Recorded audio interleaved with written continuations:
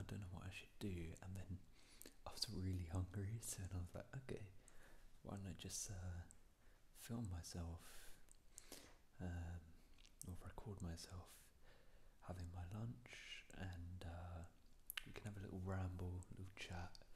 This is soft spoken, really. Um, might do a bit of whispering here and there, but um, yeah, just relax. I thought it's international break, it's the best time really to do this. I can maybe do this more often if you guys like, but I don't really have any topics planned. I'm just going to be talking about football, what's been going on, um, my thoughts on stuff, and yeah, also about this channel. But in terms of the food, I've got a uh, got some orange juice in the glass here. There we go. Take a sip of that. Um, I don't know how this is gonna sound because I don't really record myself eating. Um, but yeah, I got I got some sandwiches. I got a cheese sandwich um, and a tuna sandwich, and also got some crisps as well because I thought there'd be uh, add that crunchy sound. But um, yeah, so in terms of the international break, of course. Ronaldo he broke the uh, international record recently. Most goals scored by him uh, internationally by a man.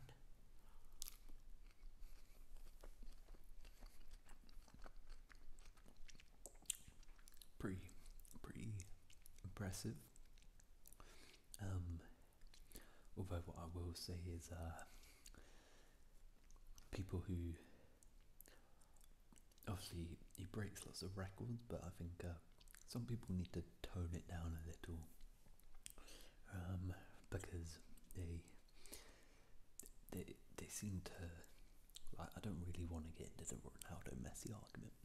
That's probably for a separate day, but so a lot of people, you know, when Ronaldo breaks a record or Messi breaks a record, then they go, they start going on like Twitter and at him Messi, being like, ha ha, ha this is why he's a goat because he scored three goals against Lithuania. It's like, look, chill out. They're, both amazing players. A fantastic achievement. He broke the record, and let's just appreciate it, you know. Because um, then you get people who go, um, you start criticizing both of them, and it's like it's it's just really childish, and I saw a lot of that. Um,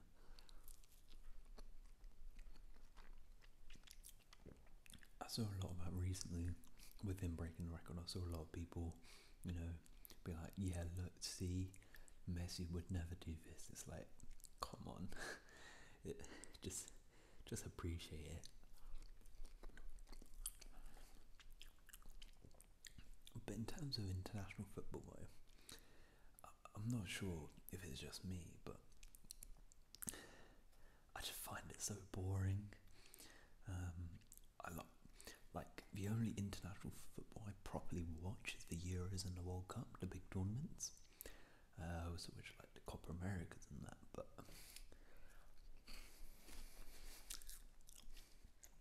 I just find it so boring. I don't know what it is.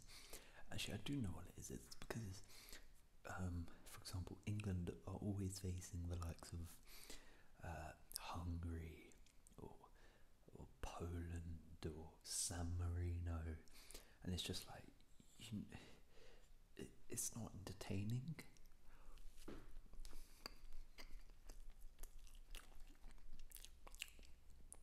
And when a team does play, for example, if England played France, it happens rarely, and when it does, it's just a friendly and it doesn't mean anything.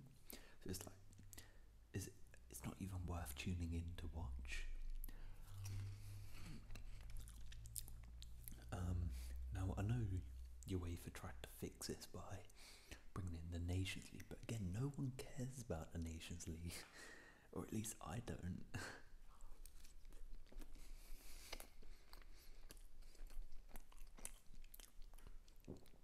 So I think we need to do something about that to engage international football more and not just the tournament football. Although, luckily, World Cup is only next year, so we don't have to wait too long for a big international tournament. And after Euro 20, uh, Euro 2020, I can't wait.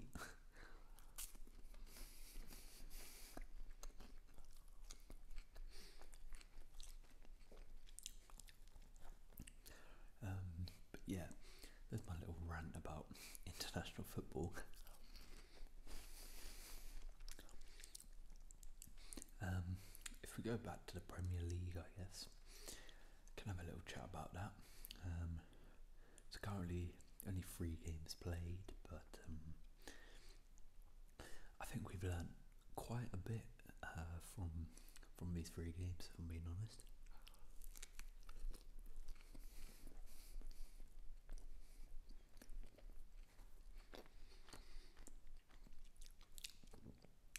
Um, so Tottenham are the only team to actually have won every game. They haven't actually conceded a goal as well, which is pretty good.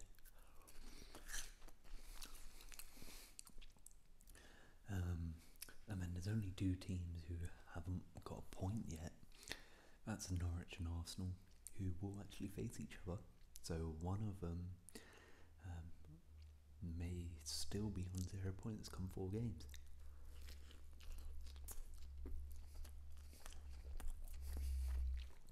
But speaking of Arsenal, um, I, it, it's it's awful what's happened to them. Really, I'm a Chelsea fan, so technically I do love this, but from a football fan's perspective, I don't know. How has it got to this stage? I really don't understand.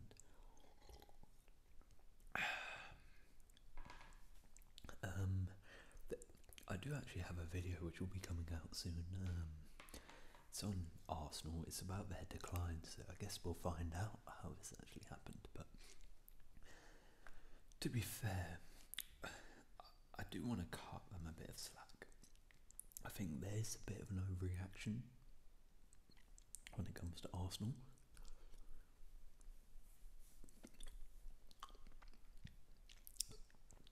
Um, I think if we look on it, you look at it on paper, you see Arsenal bottom of the league, zero points, zero goals scored, minus nine goal difference.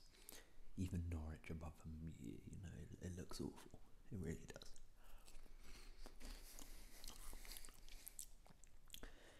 But, but, what I will say is, you look at the three games, and I'm not trying to be some make up excuses for them. Me just make that clear.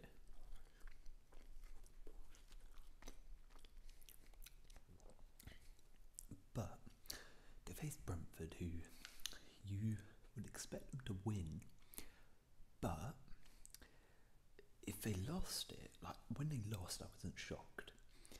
Now that's probably because it shows how badly Arsenal have fallen. That a team who are playing their first game in the top flight ever, and I'm not shocked that they beat Arsenal. That's very bad.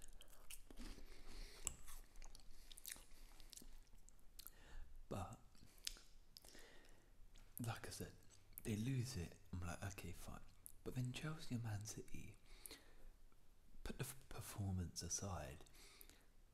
I don't think anyone was actually expecting them to get anything from them games. Came up against the European champions and the champions of the league. Um, I think the performance in both games were absolutely horrific. Yes, that you can criticise, but being bottom of the league after three games and calling for the manager's head is a little bit over the top, in my opinion. I'm not necessarily convinced by Arteta, but I do think people who are saying, "Oh, sack him now," it's like it's been three games. You've played the European champions, the champions of the league, and Brentford, which you probably should have won, but you didn't win it. It's like, okay, just chill out a bit.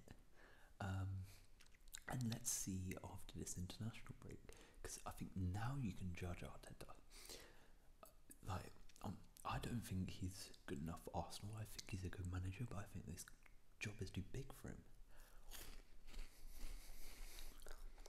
But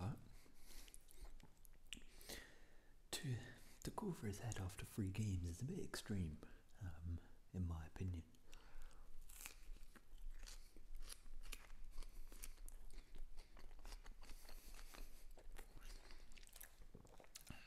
Um, so yeah, I think Arsenal fans need to chill out a bit.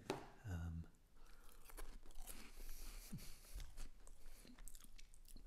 if we turn our attention to the top of the table, um, um, I, I don't see Spurs, although they made a brilliant start, I don't see them really sustaining this, in my opinion.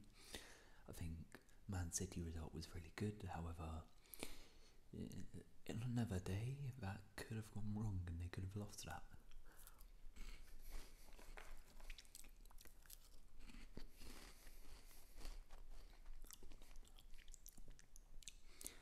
Are in second.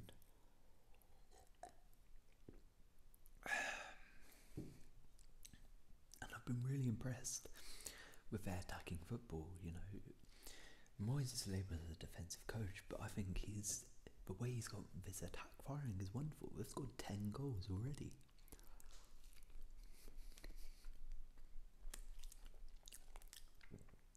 Um, however, I'm going to remain with it. When the Europa League comes and the fixtures start piling up, I'm not convinced it's going to sustain.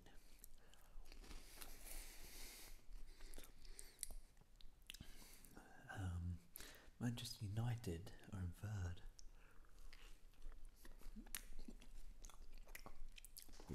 And I'm going to be honest with you, I've not been convinced one bit by Manchester United this season. The Leeds game was good, that's a good result, but the Southampton and the Wolves game were awful. They were so lucky they didn't lose both of them. The Wolves game, they got absolutely peppered, and then there was a goalkeeping error. And Southampton, uh, Armstrong had like a one on one and he completely fumbled it. I think they will improve, especially with Ronaldo coming in, the midfield is awful. It's really awful. Fred's been poor. McTominay's injured. Pogba doesn't seem to fit in at midfield playing in a double pivot with Fred. And it shows that they really needed a DM and they didn't get it. Which is why, as of right now, I really am concerned that they aren't going to be pushing uh, the likes of Chelsea and Man City this season. Speaking of them, um, another title contender is Liverpool, who, I'm going to be honest again, I'm not completely convinced.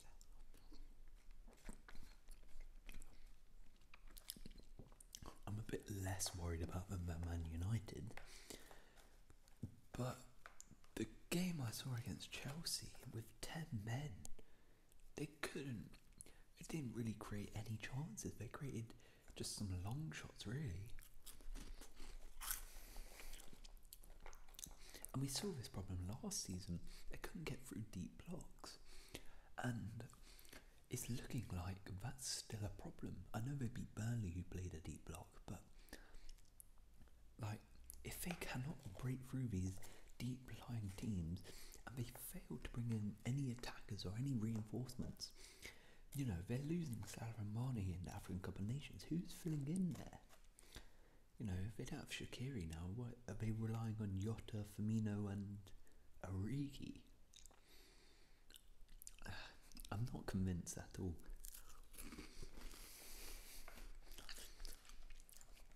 But um, yeah, I think I'm gonna wrap up there. Um, that's been my ramble mukbang. If you if you want to see another one of these, um, let me know in the comments. I can easily do another one of these. Quite like it, but yeah, if you have enjoyed, please leave a like and uh, consider subscribing. I'll see you in another video. Peace.